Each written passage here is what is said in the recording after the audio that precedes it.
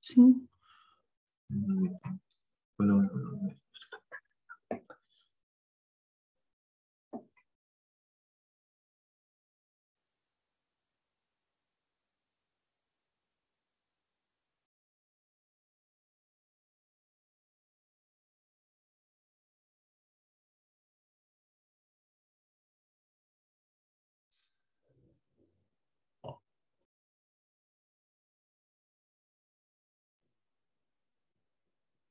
Buenos días, mis. Ahí mis activo, activo su audio.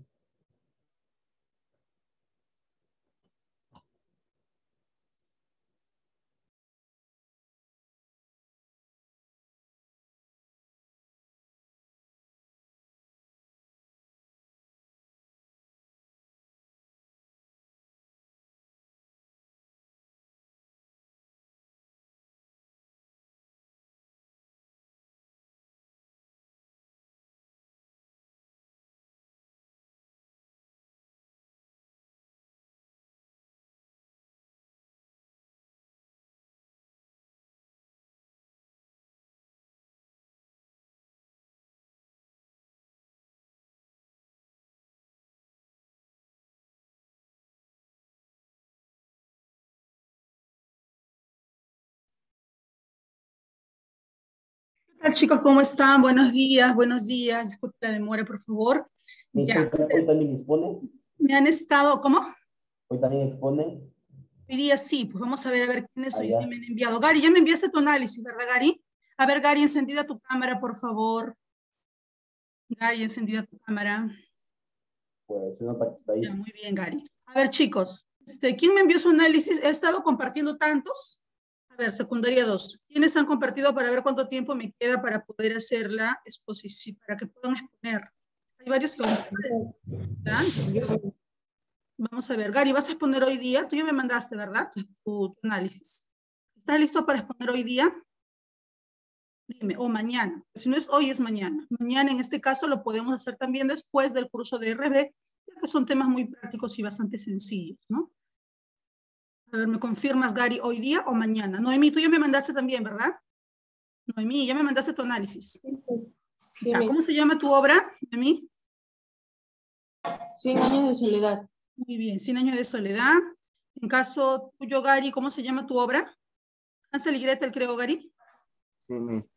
Hansel y Gretel, ya. Los dos me han mandado, están muy bien sus análisis y también ya envié sus análisis. ¿Estamos listos hoy día, Noemí?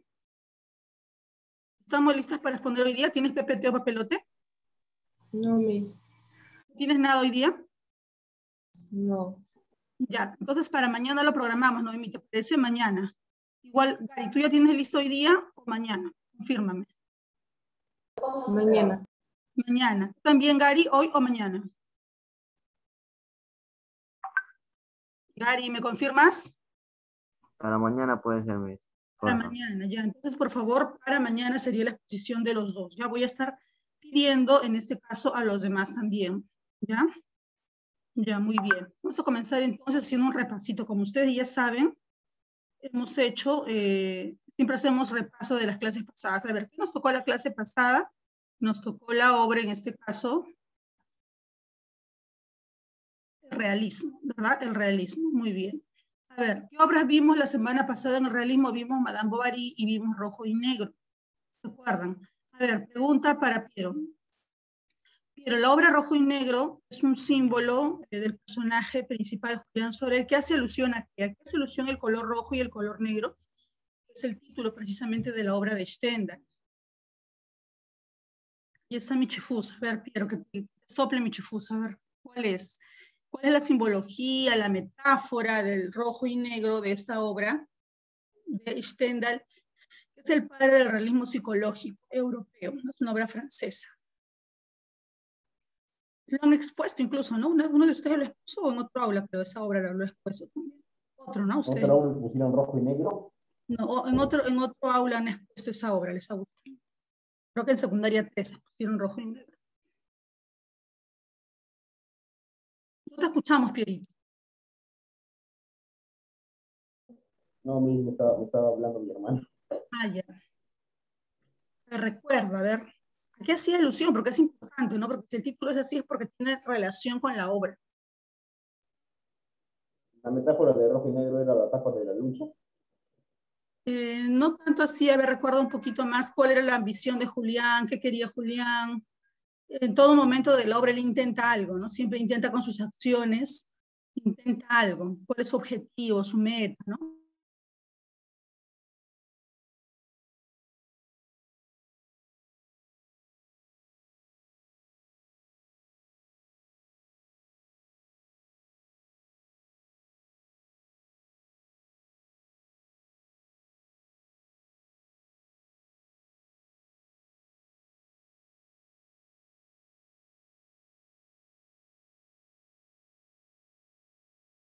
A ver, Piero.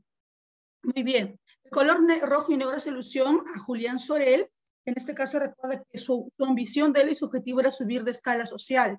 Y para eso, pues lo que él pretendía era hacerlo de, dos medios. El medio, en este caso, del sacerdocio, que representa el color negro, o a través del uniforme militar francés, que en este tiempo era rojo, y como Napoleón Bonaparte rojo con algunos toques de azul. Entonces él intentaba ser rico, eh, cambiar su pobreza, eso parece que era un chico muy intelectual, muy, pero muy intelectual, muy sabio, muy inteligente.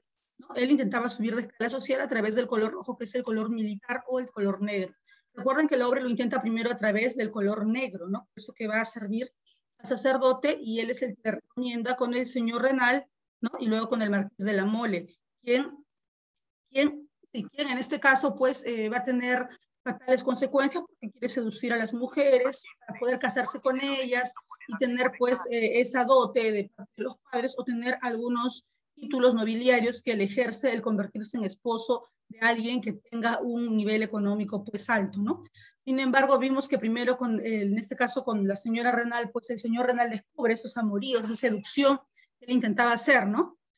Y con, y con el Matilde de la Mole, pues se iba a casar, ¿no? Incluso estuvo embarazada Matilde de la Mole pero cuando la señora de Renal, cuando la señora de Renal envía la carta haciéndole saber al papá, Marqués de la Mole, que él era un vividor, un ambicioso, un seductor de mujeres, que solo quería subir de escala social, obviamente el Marqués de la Mole pide el matrimonio y esto no se lleva a cabo, ¿no?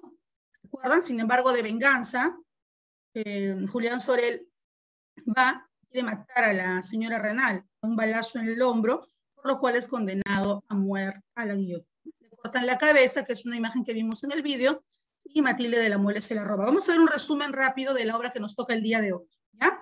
Se llama Crimen y Castigo, el autor es Fedor Dostoyevsky, un ruso. Seguimos con la corriente literaria denominada el realismo. El que le conté ahorita, el que les hice un repaso ahorita, era Rojo y Negro de Stendhal. Este es Crimen y Castigo de Fedor Dostoyevsky. Ambos se consideran eh, padres del realismo psicológico. Vamos a ver, a ver, escuchen. Están viendo, ¿verdad? Castigo de Fyodor ¿Están viendo, chicos? Sí, ¿no? Rodion Raskolnikov es un joven estudiante con problemas económicos. Tiene en mente un plan que va ensayando al visitar a Lena, una vieja usurera. En una taberna conoce a Marmeladov, un hombre quien le confiesa su miseria, el alcoholismo. Su esposa Catalina está decepcionada de él y su hija Sonia tuvo que ejercer la prostitución a causa de este problema. Rodion acompaña a Marmeladov a su casa donde su esposa le recrimina por llegar ebrio y sin un centavo. Rodia contempla esta escena y deja un poco de dinero. Cuando llega a su habitación, recibe una carta de su madre. Su hermana había sido echada de su trabajo luego de ser acusada injustamente por supuestamente seducir a su patrón y ahora se casaría con un hombre llamado Lujin. Rodion entiende que ella lo hará por necesidad y esto le molesta.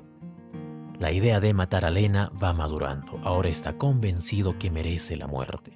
Camina hacia su casa, se desanima y termina en una taberna en donde escucha que Alena estaría sola. Esta es la oportunidad. Toma un hacha, toca la puerta, pide un préstamo y sin tiempo para más, le inflige dos hachazos perpetrando el crimen.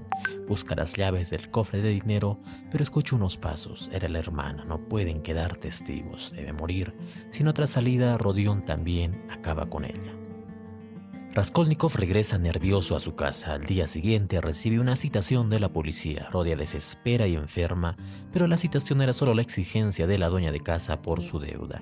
En la cita escucha sobre los asesinatos perpetrados e instantáneamente desmaya. En su paranoia, esconde lo robado enterrándolo. Seguidamente va donde su amigo Razumikin, quien le había conseguido un trabajo que rechaza. Rodion enferma, tiene fiebre y las pesadillas le atormentan. Delira en sus alucinaciones ve al jefe de la policía y teme haberle soltado alguna confesión a Razumikin en sus delirios. El médico llega a visitarlo y casualmente hablan sobre el crimen. De esta manera Rodia se entera de que un pintor había sido acusado y detenido. Llega a su habitación Lujín el prometido. Rodión le recrimina por aprovecharse de la necesidad de su hermana. Una vez solo sale a caminar y siente que sus actos pesan más de lo que puede soportar. En el camino encuentra a Marmeladov, quien había sufrido un accidente. Estaba herido. Le queda poco tiempo de vida. Ve a Sonia, su hija, antes de morir y le pide perdón por no haber vencido al alcoholismo. Rodión costea su entierro con el dinero que su madre le había enviado. El juez Porfirio cita a Rodión y parece sospechar de él, pues le recuerda un artículo que tiempo atrás había escrito en el que proponía que hay hombres extraordinarios que se pueden dar el derecho de hacer justicia. Raskolnikov, en su nerviosismo, le dice: Yo no vi nada. Svirilov, que era el patrón que acusó a Dunia de seducirle, le pide a Rodión una cita con ella que él rechaza. Lujin acusa a Rodia ante su madre y hermana por haberle dado dinero a Sonia y después de momentos de tensión es finalmente echado. Rodión sugiere a Pulqueria y Dunia separarse de él. Visita entonces a Sonia. Le propone huir juntos, pues considera que ambos están malditos y que viven bajo los suburbios de la moral. Además le dice que le confesará quién mató a Lena y su hermana. Al día siguiente va donde el juez Porfirio. Está seguro que éste sabe que él es el culpable. Mientras tanto, ante tanta presión, el pintor Nicolás se confiesa culpable.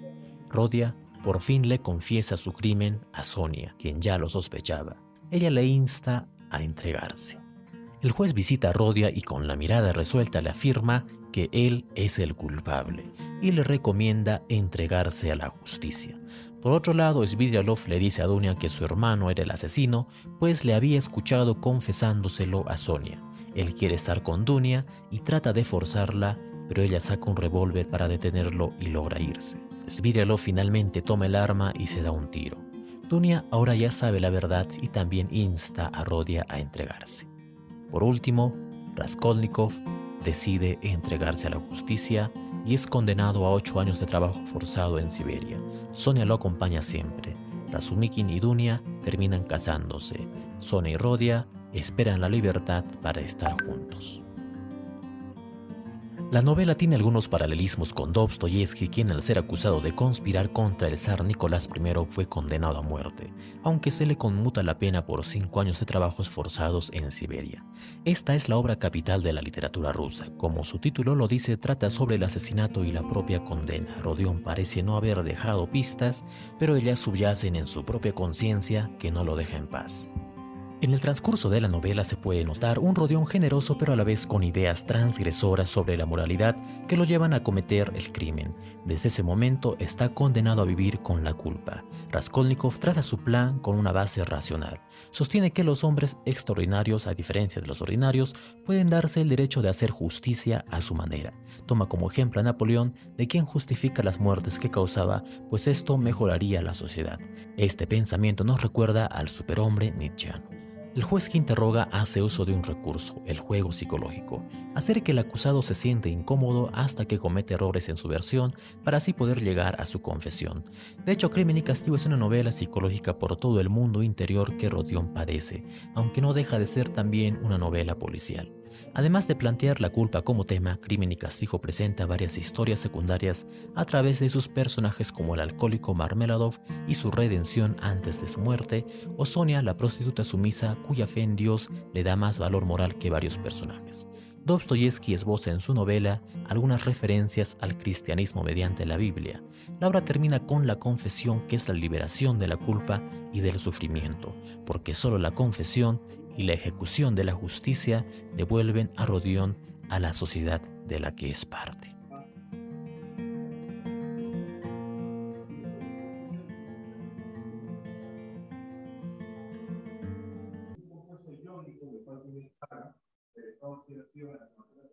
Muy bien chicos, escucharon la obra, ¿verdad? La obra se llama Crimen y Castigo Crimen y Castigo de Fedor Dostoyevsky Ruso. Como escucharon una parte del vídeo, este autor pues tuvo mucha relación biográfica con la obra. Al parecer esta obra Crimen y Castigo, lo, lo dice, era una especie de, digamos, de biografía de parte de su conciencia.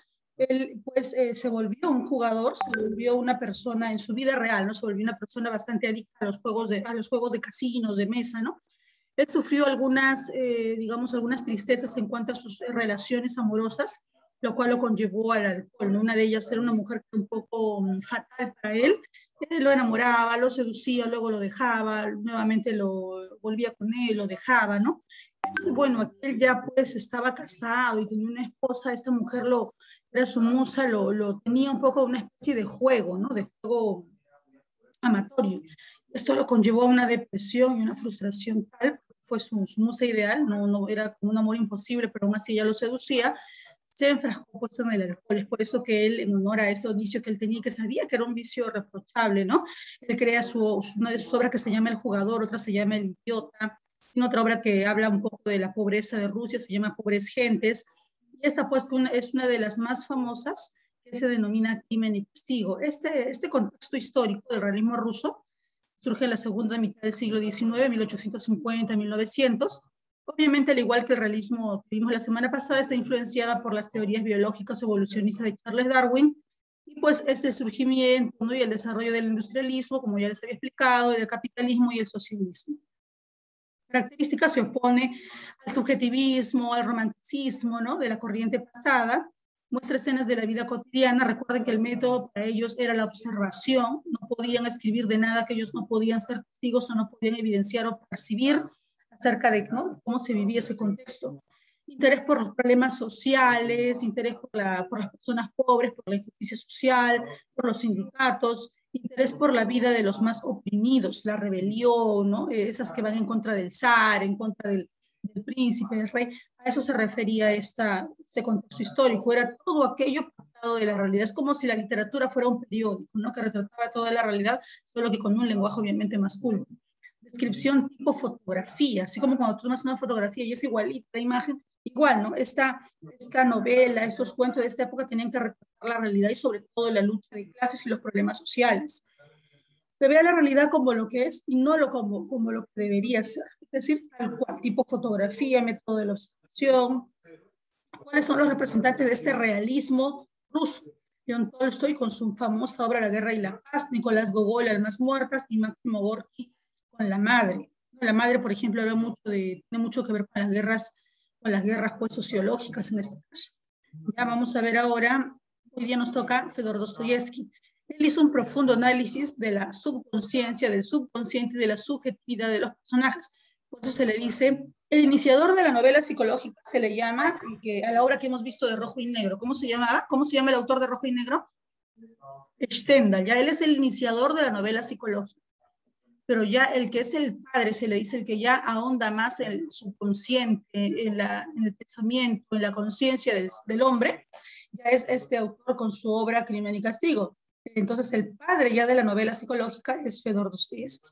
Tendencia a lo dramático, solidaridad con el sufrimiento humano, eh, religiosidad cristiana y preocupaciones morales. Él era muy cristiano, se dice el, mismo personaje, Rodio Raskolnikov, el personaje principal de Crimen y Castigo.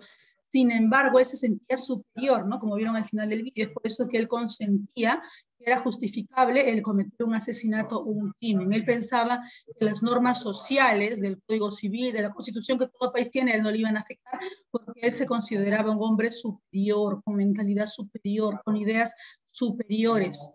¿no? Así como escribió una vez en su obra Nietzsche, era quien, el, el filósofo quien rodeó Raskolnikov admiraba mucho, la vida real también, pues, ¿no? El mismo admiraba mucho a, Nietzsche. Nietzsche tiene una obra que se llama Más allá del bien y el mal, donde indica que el hombre no le afecta, al hombre superior no le afecta ninguna norma social, es superior y no lo que diga el resto, ¿no? Entonces su obra más allá, de, él está por encima del bien y del mal, ¿no?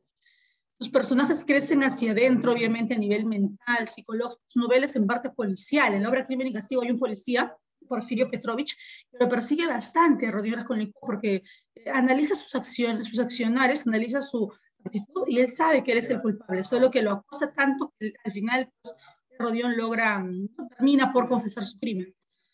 El mal se engendra en el alma de los personajes, influencia cervantina de sus personajes. ¿Por qué no se habla de la influencia cervantina? Nos habla de esto por, por Miguel de Cervantes Saavedra y su Quijote de la Mancha. El Quijote, ¿por qué era idealista? A ver, ¿quién me dice? ¿Hemos visto esa obra? Todavía. La han expuesto, la han expuesto en pie.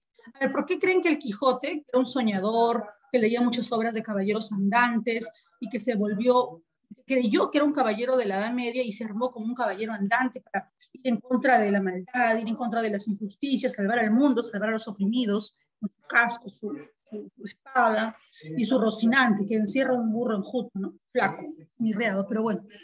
Él era muy soñador, era muy idealista, el Quijote de la Mancha, uno de Don Hidalgo, ¿no? En este caso, Alonso Quijano, era muy idealista y pues se volvió loco de tanto leer obras de caballeros andantes. Por eso dice que una influencia cervantina, porque según los críticos, eh, Rodrigo Raskolnikov, que es el personaje principal de esta obra, también sería un soñador, también sería un idealista. Ver, chicos, por más que uno sea muy inteligente, a ver, en este, en este mundo, ¿quién es el hombre más inteligente del Perú? A ver, para ustedes. Por ejemplo, César Hildebrand, ¿no? Tiene eh, comentarios muy acertados. ¿Quién es otro hombre muy, pero muy inteligente para ustedes? Conocido, famoso, a ver, por ahí. Pueden haber hombres muy, pero muy analistas, muy inteligentes, muy superiores de pensamiento, ¿no? De Negri, por ejemplo, de Negri, ¿no? El del poder de la palabra, la función de la palabra, tiene un programa. ¿Han escuchado de Negri? No recuerdo su nombre, pero de Negri se sabía el significado de todas las palabras, era muy culto. Entonces, eh, Valle Riestra, por ejemplo, también, ¿no? El político. Ya. Ellos pueden ser muy, pero muy sabios, muy, pero muy inteligentes, muy, pero muy, eh, sábelo todos. Pero si ellos cometen un homicidio o matan a una persona, por más que sean hombres de pensamiento superior, van a tener que ser, eh, digamos, proclives a las normas sociales. En este caso, que si has cometido homicidio, tienes que ir preso, tienes que ir a la cárcel, ¿no? O dependiendo del crimen que hayas cometido, te va a afectar un tipo de pena según el Código Civil. Pero para Rodión no, para Rodión estos códigos eran para la gente inferior, para la gente de la masa, para la gente de mentalidad superior, digamos para la gente ignorante, según Rodión ese pensamiento de haber leído tanto, ser tan sabio, leer tanto a Nietzsche, le hizo creer que él era como un Superman. Por eso que al inicio del vídeo no han visto un Superman, hay una imagen, Superman, superhombre, y luego aparece una idea, ¿no? Dice idea Superman, o sea, él se consideraba un hombre con ideas superiores, mentalidad superior, y realmente que lo era, realmente que lo era. Si ustedes leen toda la obra, chico muy culto, era incluso un estudiante de Derecho. Los que son abogados y estudiantes de Derecho casi siempre son todistas, tienen que leer y saber un poco de todo. Entonces, pues él decía, no, a mí no me va a afectar las normas sociales, voy a matar a un bicho social que salió en Ivanova, que es esta vieja usurera que se aprovechaba de la pobreza de la gente. Le voy a matar y nada va a pasar. Entonces, este pensamiento idealista de que a él no le va a afectar las normas sociales, que él es un ser superior, es un poco subjetivo, ¿verdad? Porque nadie en realidad se puede considerar superior por ser culto, ¿no? Todos tenemos los mismos derechos. Entonces, por eso se dice una, y una influencia cervantina en sus personajes, porque pues Rodión sería un Quijote, ¿no? un Quijote idealista, soñador, eh, ¿no? Eh, pues que creía que nada le iba a afectar a él. Sin embargo, como vieron al final del video también, lo, de, lo este, le dieron pues eh, trabajos forzados en Siberia, ¿no? Y en la vida real, escucharon en la biografía, también Fedor Dostoyevsky tuvo cuatro años de trabajos forzados. Su biografía fue espeluznante cuando la leí él estaba a punto de ser fusilado. El mismo, este autor famoso que les estoy comentando, iba a ser fusilado. Pero justo en el momento en que los soldados iban a apretar el gatillo para matar a este gran cerebro humano, como Fedor Dostoyevsky, vino otro soldado e indicó ¿no? el zar había condonado la pena a trabajos forzados en Siberia. O sea, te cambio la pena de muerte y te vas a trabajar diciendo que era una broma, que era una forma de asustar a los rebeldes. Lo que pasa es que Fyodor Dostoyevsky también era estudiante de Derecho en la vida, así como Rodion Raskolnikov, ¿no? Eh, pues, pero él participaba de algunas, eh, digamos, vigilias o algunos grupos sociales que iban en contra del zar o que querían amotinarse en contra de la injusticia o este imperio del zar. Entonces lo descubrieron una noche en este cenáculo entre literario y rebelde, ¿no? Y lo apresaron, no solo él, a todos los que estaban con él. Y para imponer su norma radical. El zar dijo, muerte, muerte para todos. pues ahí comenta en su biografía Fedor Dostoyevsky lo triste y lo mal que él estaba, ¿no? O sea, él, imagínate, saber que vas a morir, te tienen preso, al día siguiente voy a morir, pasan las horas, te llevan encadenado, ¿no? Obviamente cegado aquí, que ya vas a morir, imagínate esos momentos que él vivió, ¿no? Imagínate todos esos momentos que él sintió de, de, de potencia, ¿no? Por solamente no estar acorde con las ideas del zar. Qué injusticia, ¿no? Entonces, este, pues, este, él después de, esta, de, esta, de este hecho que él pasó es que escribe la obra Crimen y Castigo. Yo siento que es como una especie de biografía respecto a este suceso que él pasó. Siento que él piensa que, el zar es como León Ivanov. Yo lo, yo lo analizo así, ¿no? Porque él quería ir en contra del zar y en su momento, pues después de este suceso grave que él pasó, él dice fue el momento más grave de su vida, no de estar cerca de la muerte y luego ya no. Entonces él escribe esta obra, Crimen y Castigo, con hechos muy parecidos a los que él vivió por ejemplo, Radión era un estudiante de Derecho, eh, Fedor también. Rodión creía que esta mujer, León Ivanov, era un bicho social y que debía morir. También lo cree del zar, por eso quería conspirar contra él con su cenáculo literario. Em, Rodión en vida em, fue jugador, fue en este caso no adicto a los juegos de mesa. En algún momento también eh, lo hace en la obra, pero más que eso, se apiada de un borracho que era Marmeladov y quiere ayudarlo, ¿no? en su vida él también fue alcohólico. Entonces, relaciona mucho su biografía con esta obra. Personajes humillados y sufridos, como la prostituta Sonia, como Marmelador el borracho, como este, todos los humillados ¿no? que van a aparecer en sus obras. ¿ya? Dentro de las obras más importantes tenemos Crimen y Castigo, publicada como folletín por entregas. Bueno, ¿qué quiere decir como folletín? Que iba a ser publicado en diferentes periódicos semana a semana, así como aparecen los álbumes y aparecen figuritas semana a semana, igual acá aparece como folletines capítulo por capítulo, entonces esto demostraba más, eh, digamos, la ansiedad por seguir leyendo la obra, ¿no? Con mucho éxito, ejes fundamentales son el trama policial, mm, cómo lo persigue Porfirio Petrovich, y el conflicto psicológico interno, sobre todo eso, por eso que la obra se llama Crimen y Castigo, ¿no? El castigo que él tiene luego de haber cometido el crimen contra la usurera León Ivanova. Su eh, conflicto interno psicológico, sobre todo, se desarrolla un conflicto entre los valores de una sociedad intelectual antihumanitaria y una sociedad moral cristiana. Él sabe que está mal haber matado a la vieja, sin embargo, eh, su intelecto le hace creer pues, él sí puede, ¿no? Él sí puede actuar de esta forma y es por eso que sufre el castigo, pero sobre todo el castigo psicológico de haber en este caso eh, creído que a él nada le iba a pasar. Pero el peor castigo para Rodión, más que, eh, digamos, los, los años que le puedan haber dado de trabajos forzados, más que la pena que le puedan aplicar, eh, pena de privación de libertad, era ese castigo de su subconsciente, de su mente, de su conciencia, ¿no? Él decía, no, sí, bueno, yo creo en Dios, pero a mí mi conciencia tampoco me va a fallar. Sin embargo, su conciencia era la que más le atormentaba y no lo dejaba en paz, porque sabía que había cometido un crimen que ese crimen estaba en investigación. Bueno, luego de, antes de responder las preguntas, vamos a volver a hacer un resumen de la obra. Como vieron al inicio, el personaje central se llama Rodion Raskolnikov. ¿Qué pasa con Rodion Raskolnikov?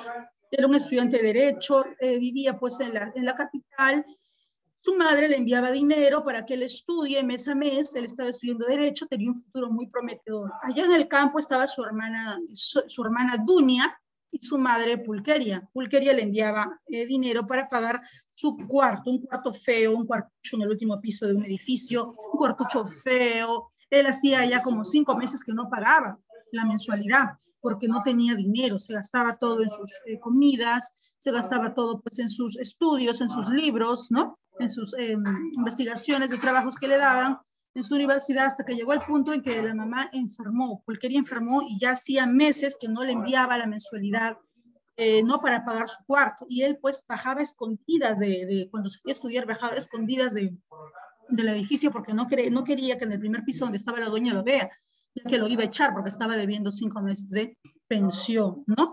Ahora, él este, mm, llegó a conocer a una usurera llamada Leona Ivanova. Esta usurera era conocida por toda la ciudad. Era una vieja prestamista. Ella se aprovechaba de la necesidad de la gente y te cobraba el triple de lo que te había prestado en intereses.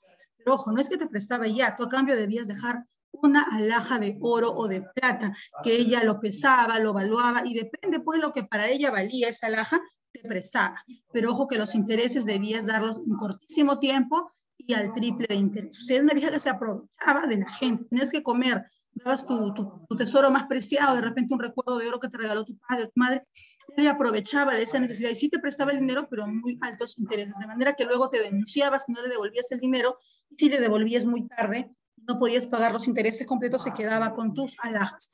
Entonces, él consideraba a esta mujer un bicho social, un ser despreciable, una cucaracha, lo consideraba alguien que no debía existir le daba mucha cólera que esta persona se, eh, se aprovecha de la necesidad de las personas, de la pobreza de las personas.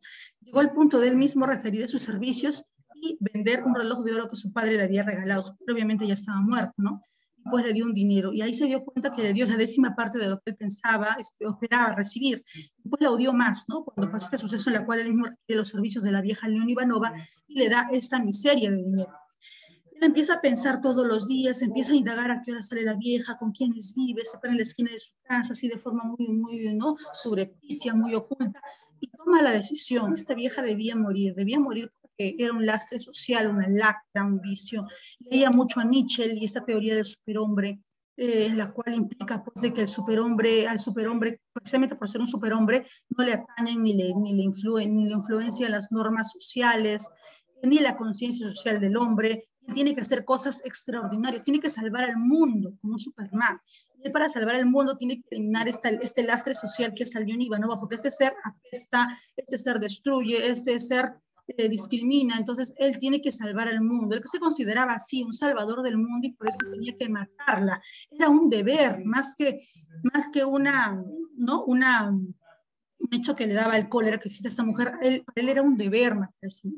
Y él sentía que él debía cumplir su deber de superhombre, de ser superior, es como el deber que, tienen las personas de repente en sus profesiones, no tienen que hacer eso. Igual, se tiene un deber latente y esto lo atormentaba. Él tenía que matar a la vieja porque no podía estar en paz sabiendo que ella existía. Miren a tal punto su conciencia, incluso la conciencia que lo atormenta comienza con este deber del superhombre. No solamente la conciencia de haber matado a Leona, su lucha contra su, su conciencia empieza desde el momento en que él sabe que es su deber, él siente que Dios le ha dado este deber a él, este deber superior y que nadie se va a atrever, solo él, porque él tiene mentalidad superior, y que solo él lo puede hacer porque a él no le va a afectar las normas sociales, a él no le va a afectar la constitución, a él no le va a afectar ninguna pena, porque él es un ser superior, superior, ¿no? Me hace recordar un poco a José Santos Chocando, no sé si han visto su biografía de él, es un eh, peruano también, y pues este él mata a un hombre, mata a un hombre siendo un literato.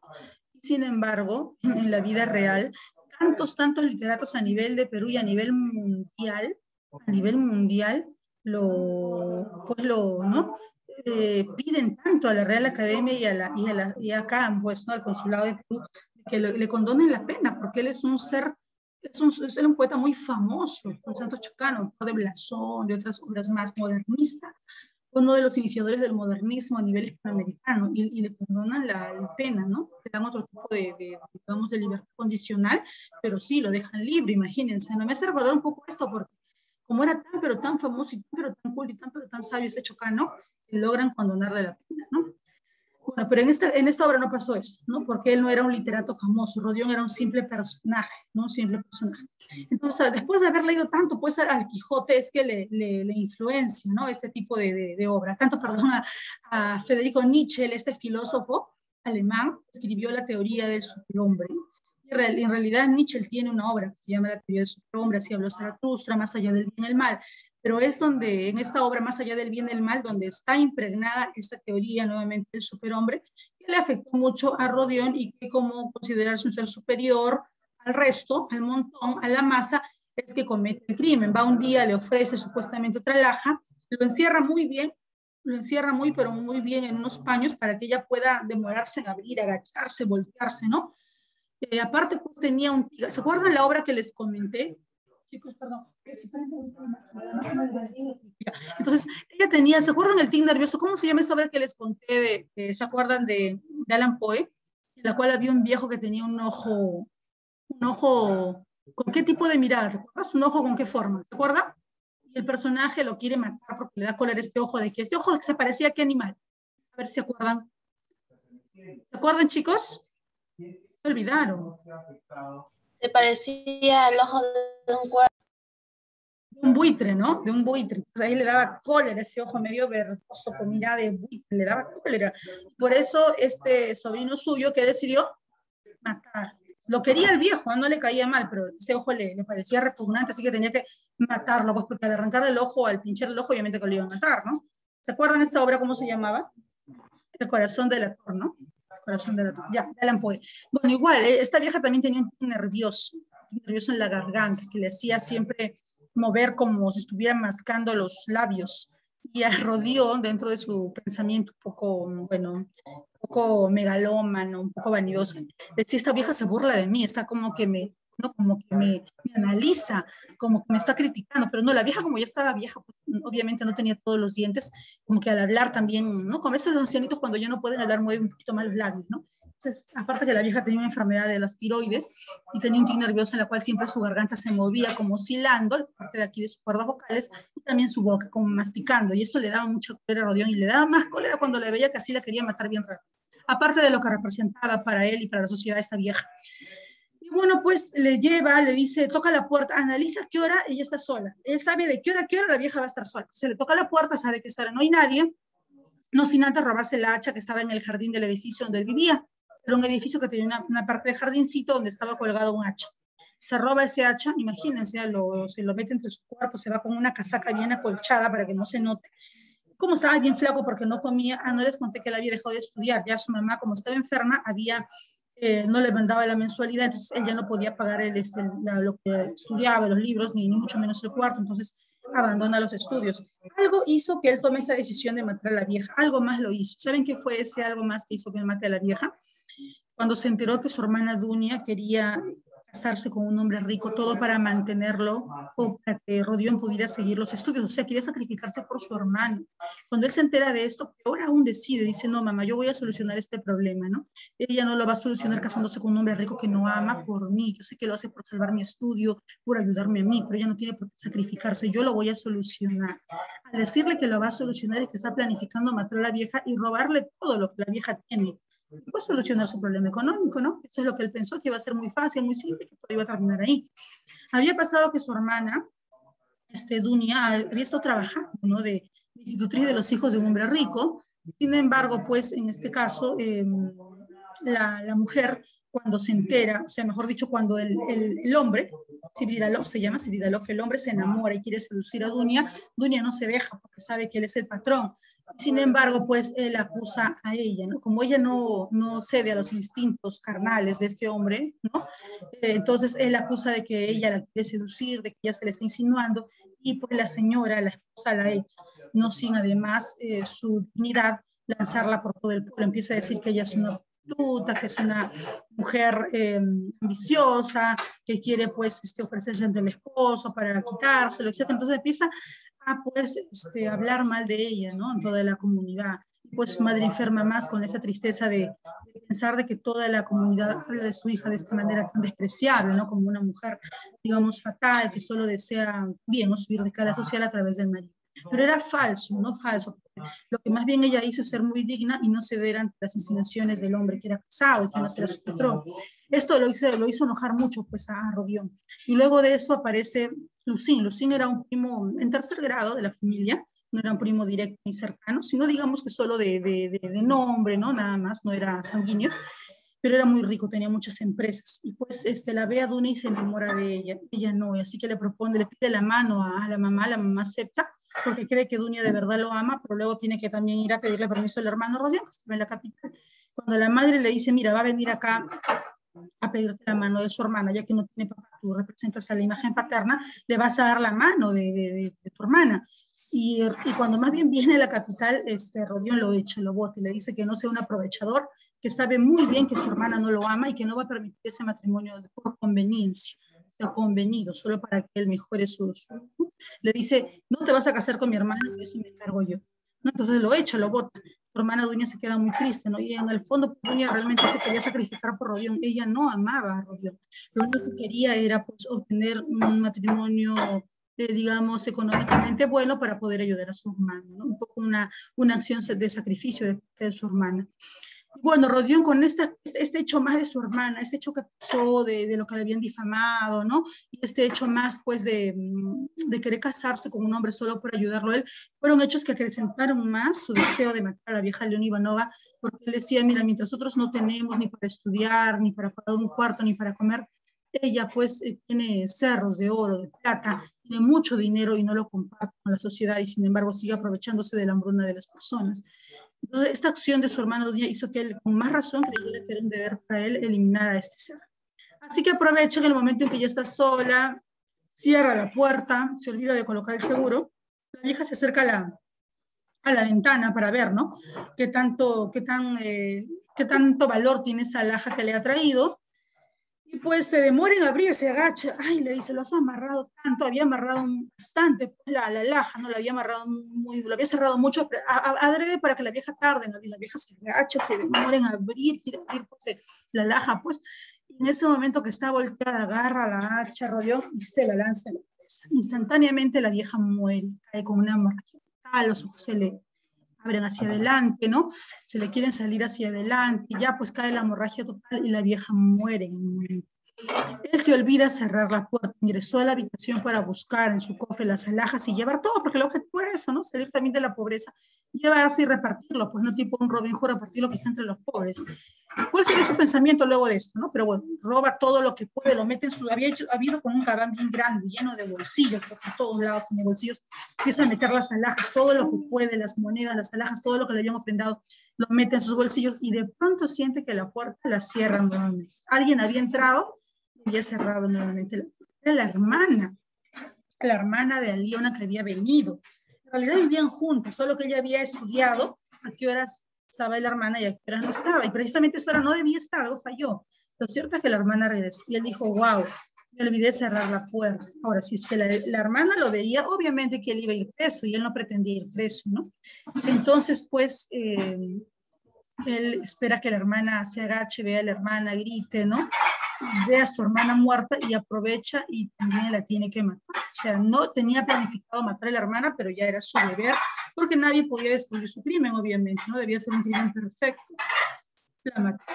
Luego de matarla, ahí sí recién cierra la puerta con el, con el seguro y empieza a llevarse todo lo que puede. Él había estudiado todo, por dónde salir, la, el cuarto tenía una, una, puerta trasera por la donde él podía escapar, unas escaleras traseras que daban al inicio del edificio donde vivía Aliona, de manera que él no tuvo que abrir la puerta y salió ¿no? Salió y se escapó por la puerta trasera. Aparentemente todo fue un crimen perfecto. Él vino a su casa, se cambió la ropa, botó esa ropa, se bañó, empezó a sentir un poco de nerviosismo, pero él dijo, no, esto no me puede pasar a mí, yo soy un superior, escondió la, la, el, el dinero, eh, antes de esconder el dinero, el poco dinero que le quedaba, porque les comento que después de este, esto que él cometió, casi todo ese dinero lo regaló. ¿Cómo pasó esto? Luego de, antes de irse a su cuarto, el primero fue a beber, o sea, fue a una cantina a beber, un poco a tratar de calmarse, ¿no? Porque empezó a sentirse muy nervioso. Él decía, no, voy a tomar un poco de alcohol me voy a calmar. Sin embargo, ahí conoce a un hombre muy, pero muy, eh, con una vida muy trágica. Conoce al hombre Marmelador, que sería el papá de Sonia, el hombre a quien él va a amar al final, ¿no? Este hombre es un hombre borracho, le cuenta su tristeza, le cuenta su pena, le dice, mira, yo no puedo dejar el alcohol, me siento miserable, tengo hijitos que mantener, tengo mi hijastra Sonia, me siento mal, estoy bebiendo porque por mi culpa, por mi, mediocridad de no ser un buen padre, no darle a mis hijos un buen futuro, no darles alimento, ella ha tenido que prostituirse, ya que no tiene ninguna profesión y ningún trabajo le acepta. Y me da, me da, me da cólera de mí mismo, dice, ¿no? de mi existencia, porque mi hija está prostituyéndose ahora, pero está trayendo mucho dinero a la casa. Ella se ha ido a vivir a otro sitio porque no quiere, no quiere que la veamos, se siente mal ¿no? por este, este oficio que ella está ejerciendo. Y sin embargo, yo no puedo más con mi, con mi exceso de, de bebida, sigo bebiendo y no puedo más. Al punto que cae, cae desmayado, ¿no? de tanto beber ya se cae. Entonces, dime dónde vives, le dicen, ¿no? Su, ve su credencial, como su DNI y lo lleva a su casa. Y encuentra a la esposa, la esposa de, de, Marmeladov, quien se hizo su amigo, a sus hijitos tan pequeñitos, ¿no? Más o menos entre 2 y 7 años. Y pues eh, empieza a golpear. La mujer le dice, ah, vienes con tu amigo borracho, vienes aquí incluso a traerme a la casa con borrachos amigos. Cree que Rodión es un amigo borracho. No sabe que lo encontró ese día de casualidad. Y lo empieza pues a, a golpear, a golpear, a golpear, a golpear. Lo empieza a golpear se da cuenta que la verdad lleva una vida miserable, ¿no? Aparte de que él es un hombre, digamos, dependiente del alcohol o alcohólico, también pues la mujer lo trata mal, ¿no? En ese momento pues agarra todas las monedas que tenía y, y le deja, ¿no? Le deja, le deja parte, no todo, le deja parte, parte de las monedas. Bueno, la mujer le agradece, pero igual lo golpea él llega a su, a su habitación, llama a su amigo, tenía un amigo, un amigo muy bueno que se llamaba Rasunikin, era también un estudiante de Derecho, él sí seguía estudiando Derecho, él tenía una mejor condición económica, no, no buena, buena, pero al menos podía autosostenerse. Y pues le dice que está enfermo, por favor, si puede llamar a un médico. Empezó a sudar, a tener una fiebre, no podía ni hablar, cuando quería hablar eh, le parecía como una especie de asma, sudaba todo el tiempo, el cerebro le hincaba, tomaba sus, sus analgésicos, pero no, o sea, Su cerebro la atormentaba totalmente, chico. Ya su castigo no fue el hecho de que alguien descubriese que le había matado a Leona, porque no se lo había confesado a nadie, ni siquiera a su mejor amigo. El castigo más grande era su propia conciencia que lo atormentaba, su propia conciencia. Pasó días así, una semana, dos semanas, su amigo nunca se le fue de él. Él creía pues que incluso ya, ya había muerto porque no podía vivir en esta sensación de enfermedad total. Nada, seguía, seguía así. Volvió un día, salió nuevamente, ¿no?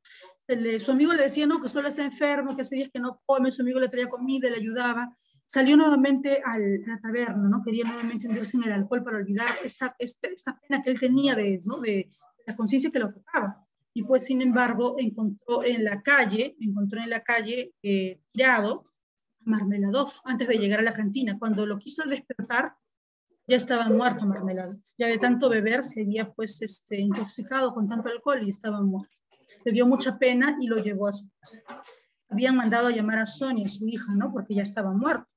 Lo lleva, le agradece obviamente la esposa, llora mucho, obviamente todos en ese momento, la esposa llora diciendo de que ni siquiera tienen para poder enterrarlo, no tienen para pagar su muerte, que bueno, que por favor lo deje donde lo encontró, le dice la esposa, me da mucha pena, pero no me lo traiga acá, dijo, yo no quiero que mis, mis hijos vean cómo se desintegra su padre, yo no tengo ni siquiera para darle una sepultura cristiana. Rodion recuerda que aún tenía mucho de las monedas que le robó la vieja y le entrega todo. Gracias a Rodion se pudo realizar ¿no? el, el entierro de, de, de Marmeladov. Mira, tan miserable era que no tenían, tan miserable eran esas personas que, o sea, mísero me refiero a dinero, ¿no? Que no tenían ni siquiera para poder enterrar a, a, al señor, ¿no? Marmeladov. Eh, este gesto le parece muy, muy, muy, pero muy este, noble a, Sonia y pues al verlo Rodion tan solidario, tan bueno, tan preocupado por los problemas de ellos, se enamora de, empiezan a salir, a conversar y se sienten muy identificados, ¿no? Porque ambos se consideraban seres despreciables, ambos decían, miren, somos seres despreciables, ¿no? Yo soy un estudiante megalómano, vanidoso, pero soy una, un fracaso, ¿no? No puedo estudiar, soy una, un desprecio social, decía él, ¿no? Por un momento, ¿ah? Luego de halagarse tanto con la teoría del superhombre, empieza a sentirse un ser inferior por su condición actual, ¿no? Y Sonia dice, yo igual, mira, soy una prostituta, soy un ser miserable, criticable, Dios me va a castigar, Dios no ve con buenos ojos lo que hago, pero eh, tengo que hacerlo porque no puedo dar de comer a mis hermanos, mi madre está enferma, mi padre ya murió, ¿qué puedo hacer? Y ambos se sienten como identificados, sintiéndose como personas oprimidas, ¿no? Eh, con una suerte, pues, eh, mala, ¿no? Sin embargo, pues su hermana viene, lo visita y ve la terrible situación en que está su hermano, ¿no? Y decide ayudarlo, decide ayudarlo y pues este se enamora del mejor amigo de Rodión, que era Rasun King. Dice, vamos a trabajar por ti, para ayudarte, ¿no? Pero a Rodión no lo deja en paz este, este, este tormento psicológico que él tiene a diario, ¿no? Y para variar empieza y le manda una situación del Poder Judicial. Rodión, nervioso, dice, bueno, ya, ya iba dispuesto quizá a entregarse, porque dice, si me mandan una situación del Poder Judicial es porque voy a, ya han descubierto mi crimen. Sin embargo, esa situación había venido de parte de Porfirio Petrovich porque la señora del, del cuarto lo había denunciado, porque ya querían, eh, querían desalojarlo, ¿no? porque debía muchos meses de pensión. Pero era para eso. Ah, dices para esto. Y Porfirio le pregunta, ¿cómo la mataste? ¿Cómo fue? Cuéntame. ¿Por qué lo hiciste? Ella no te hizo ningún daño. Eres un superhombre, le dicen, porque ya Porfirio Petrovich, como era un detective, además policía detective, había estudiado, había ido a su cuarto, había investigado qué libros leía, entonces ya sabía, había hilado toda la historia, ¿no? De que él sabía que él había tenido esa teoría del superhombre y por eso había decidido matar a la vieja. Él, él, dice, nunca he leído eso, le, le contesta a Rodion. Yo no sé quién es Nietzsche, o sea, le contesta cosas incorrectas, que sabe que no son ciertas. Bueno, cuando decides entregarte solo aviso. Entonces, Porfirio lo atormenta, ¿no? Es como quien le dice, yo sé que tú lo has hecho, pero no tengo ninguna prueba. Y así, lo cita varias veces, lo encuentra en la calle caminando, lo encuentra en la misma taberna, se le aparece en todos los lugares donde Rodión va. Y siempre le pregunta de la teoría del superhombre, de cómo lo hiciste, de por qué, qué, qué pasó, que estaba sola, cómo así no, no dejaste pista, nada. O sea, le empieza a atormentar, al punto de que Rodión Raskolnikov le confiesa su crimen a Sonia. Le dice, mira, esto pasó y yo no puedo vivir en paz. Es más, te agradezco porque me hayas influenciado este pensamiento cristiano, de creer en Dios, de que Dios me va a perdonar, ¿no?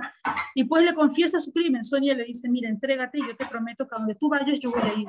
Me voy a ofrecer como voluntaria, te voy a alimentar, te voy a cuidar y voy a esperar a que tú salgas de tu pena. Y luego de eso nos vamos a casar. Y mira, qué bonito, ¿no? Le dan un panorama de, de una de un futuro hermoso, de un futuro prometedor, de un futuro pacífico donde ambos puedan juntarse como, digamos, personas pecadoras, pero ya libres de su, de su mal, ¿no? Es más, yo voy a dejar esto y voy a dedicarme a ti, a apoyarte y a cuidarte. Y le ofrece esto, imagínate Sonia, ¿no? Y él también que ya estaba enamorado de Sonia, se entrega, se, entrega ante Porfirio Petrovich y pues también, así como en su vida real a Rodion, a, a, ¿no? Fedor Dostoyevsky lo, lo dictaminan a cuatro años de trabajo forzados en Siberia, igual a Rodion, a, Rodion Raskolnikov le van a dictaminar en este caso ocho años, ocho años de pena por el asesinato que cometió, pero luego de esto él sale, ¿no? Sale y se queda con Sonia y la historia termina en un final, digamos, feliz, ¿no?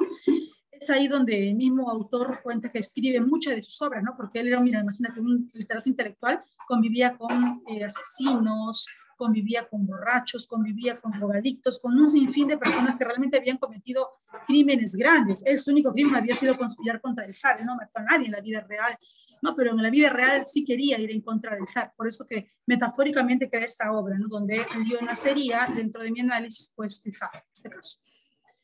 Muy bien, vamos a ver ahora las preguntas. Prendan todo su audio, por favor. Les voy a preguntar a cualquiera de ustedes. Este es un cuadro de las obras que hemos estado viendo. De Stendhal hemos visto Rojo y Negro, de Flaubert hemos visto Bovary, de Balzac. Ah, la próxima semana les cuento de Balzac, que es en este caso Papá. Eh, hoy hemos visto de Fedor Dostoyevsky. La próxima semana es examen. ¿Ya? Comenzamos con la obra entonces. Autor que, que no pertenece al grupo, a ver. No sé Tolstoy está aquí. ¿Ah? ¿La E? La E, seguro, seguro, saber. Máximo Gorky, sí. Marta Nicolás Gogol, todos son personajes realistas. ¿Quién no es un personaje realista? ¿Quién no sería un personaje realista? Acá está Mark Twain, ¿eh? Ese es un personaje realista. En realidad es Máximo Gorky. Máximo Gorky es un literato, pero ya es un literato en este caso del eh, vanguardismo europeo, vanguardismo. Se escribió en la época de las guerras mundiales. Los demás son realistas él es un, él es en este caso un vanguardista, un vanguardista. Se borró. Corriente literaria que se desarrolló durante el surgimiento del capitalismo. ¿Cómo se llama la corriente literaria que se desarrolló en el auge del industrialismo, el capitalismo y el socialismo? La corriente que estamos viendo hoy día, ¿cómo se llama? Realismo. Europeo, muy bien. En el realismo, la imaginación es reemplazada por qué? La imaginación de los románticos es reemplazada por qué? Profesora, un favor, ¿podrías compartir la pantalla? Por la observación, recuerda, ¿no? Toda obra debía ser como una imagen fotográfica. No, se ven las preguntas en su pantalla. Ajá. ¿Cómo? No se ve el archivo de... Ay, un ratito, chico, no lo escucho muy bien. A ver, autor que vivió aquejado por la miseria y la epilepsia. Ah, Fedor que murió de epilepsia, chicos. Eso me olvidé contarles siempre tuvo una vida mísera también, ¿no? A pesar de que era un gran autor, esto de estar enfrascado en, en, los juegos de mesa, en, los, casinos, hizo que él perdiera casi todo su dinero. Apostaba todo, todos los días apostaba. Creía que se iba a ganar rápidamente. Quería impresionar a esta mujer, esta mujer que lo seducía mucho, lo que la quería impresionar, que quería hacerse rico rápido. Lo poco que tenía, lo daba el juego. Porque solamente en estos juegos, pues de pronto te ganas, tipo la tinca, ¿no? Una gran fortuna. Al final terminó muerto, falleció de epilepsia, el gran Dostoyevsky. Obra del realismo que apareció por entregas en el mensajero ruso, capítulo por capítulo, en folletines de periódicos que les comenté, ¿se acuerdan? La obra que hemos estudiado hoy, ¿cómo se llama? ¿No ven, ¿no ven la separata? Chicos, ¿no están viendo la separata? Miss, no, se ve las preguntas. no, tiene su separata, ¿No ven las preguntas? No, aunque yo sí, tengo las mías. ¿Ahora? Ahora sí. ¿Sí?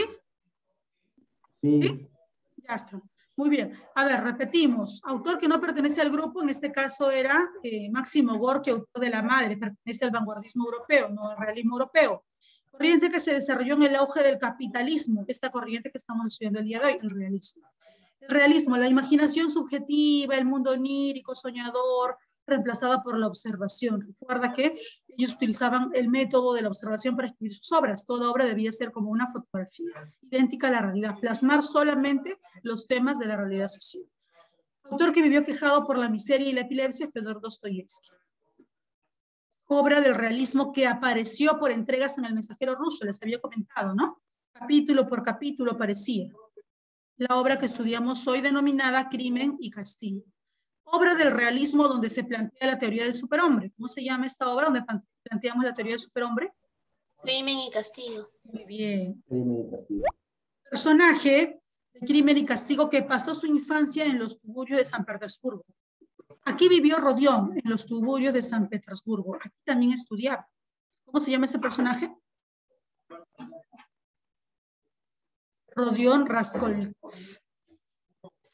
Juez encargado de descubrir el crimen de la vieja usurera y de su hermana, su hermana Elisabetta. ¿Cómo se llamaba ese juez? Era un policía en realidad. Porfirio Petrovich. Madre y hermana respectivamente de Rodión. ¿Cómo se llamaba la madre y la hermana? ¿Se acuerdan? ¿Se acuerdan, chicos? Pulqueria, la mamá, y Dunia, la hermana, ¿no? Que se quería casar con el hombre rico. Dostoyevsky, el único que me ha enseñado algo de psicología. Esta frase, ¿saben quién la dijo? El gran Nietzsche. Nietzsche tenía la teoría del superhombre y cuando leyó sobre Crimen y Castigo decía, a, a raíz de que leo esta obra, Dostoyevsky es el único que me enseñó un poco de psicología. Al ver pues esa descripción tan pormenorizada de lo, del atormento psicológico que sufría de su subconsciente luego de saber que había matado a la vieja León Ivanova. Miren, qué, qué, este, qué fuerte, ¿no? Un filósofo dice esto, ¿no? Ningún psicólogo me ha enseñado más que el propio Dostoyevsky con su obra Crimen y Castigo. Tendencia que pretendió explicar la naturaleza humana. Este es el naturalismo. Es como, es como la obra que les conté en Ana, que es el máximo eh, nivel de realismo, es el naturalismo, a eso se refiere. Escritor más popular del realismo inglés. Del realismo inglés es Charles Dickens. No es una obra de Dostoyevsky. Recuerden que Naná es una obra de Miles Solá, el padre del naturalismo. Es el protagonista de Crimen y Castigo. A ver, ¿cuál es, chicos? ¿Cuál es? El personaje principal, ¿cómo se llama? A ver, Gary, ¿cómo se llama el personaje principal de Crimen y Castigo? ¿Cuál de estos es? Gary, ¿cómo se llama?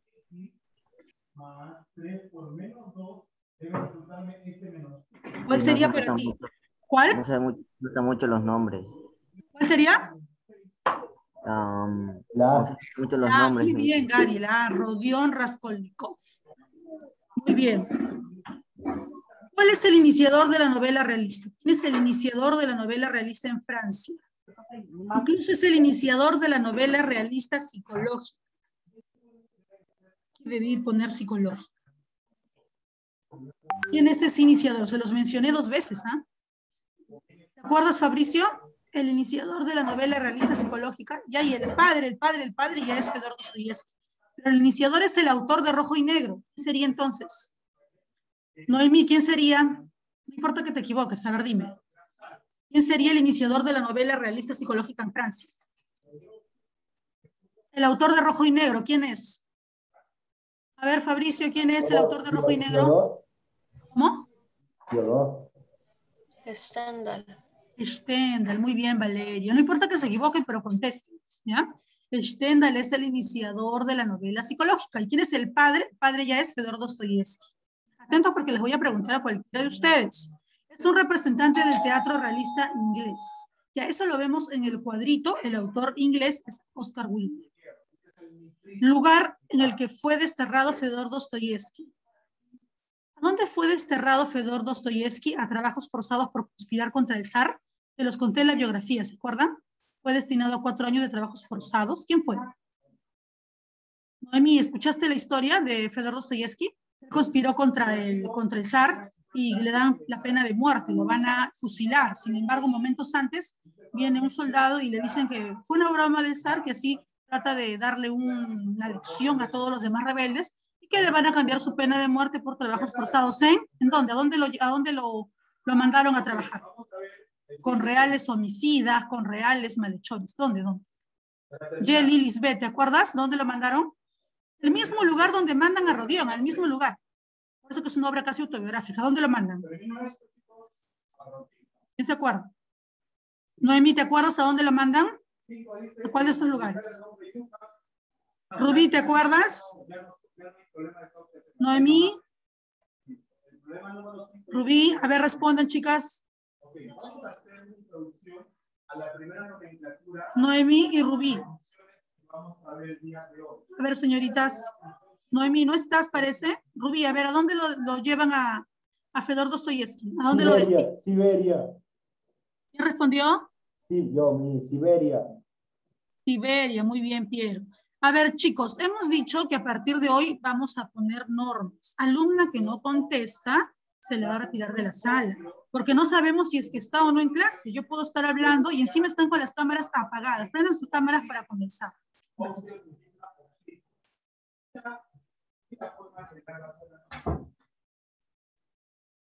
A ver, chicos, a partir del día de hoy, alumno que no responde las preguntas es porque sencillamente no está en clase.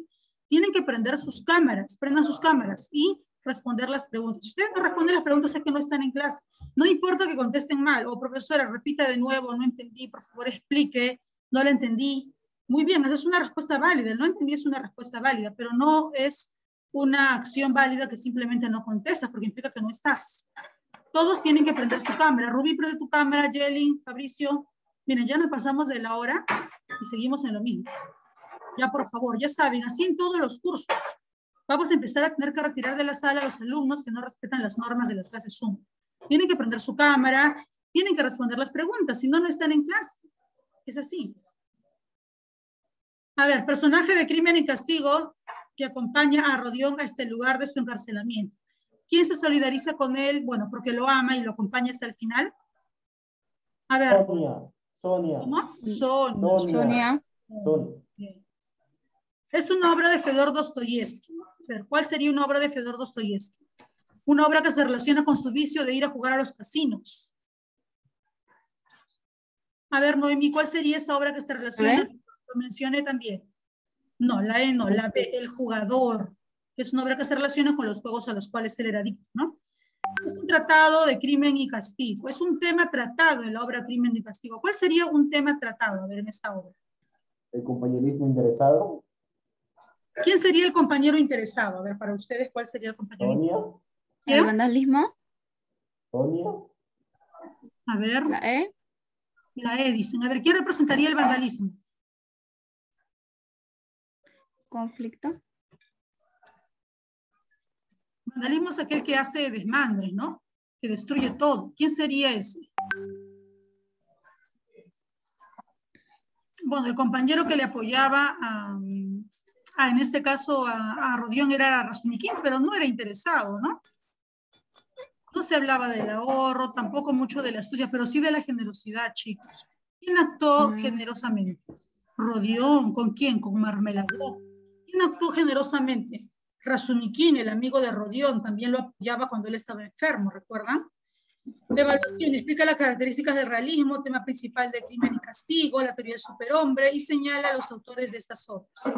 Crimen y castigo ya saben quién es, ¿verdad? Los autores de estas obras ya, ya lo hemos visto. Balzac, Stendhal, Fedor Dostoyevsky, Fedor Dostoyevsky y Gustavo Flauer, el último. Tarea, respondes, verdadero o falso. ¿Ya? El argumento de crimen y castigo y una ilustración. Chicos, muy bien, gracias por participar. Ya saben, mañana entonces expone Noemí y expone mañana Noemí y Gary, ya los dos, después de RB, ya Gary y Noemí. Los demás espero hasta el día de hoy sus análisis literarios. Jelly, Rubí, Fabricio, sus análisis literarios, por favor. Ya saben que la siguiente semana son los exámenes y solo se espera hasta esta semana para que tengan su promedio del horario. ¿Ya? Muy bien, chicos, gracias por participar. Por favor, ya saben las normas a partir de ahora. Los profesores les van a estar preguntando. Atentos porque cualquiera van a preguntar. Ahora, el que participa seguido ya no se le va a preguntar mucho. Así que participen en todo caso para que no se les pregunte de forma individual.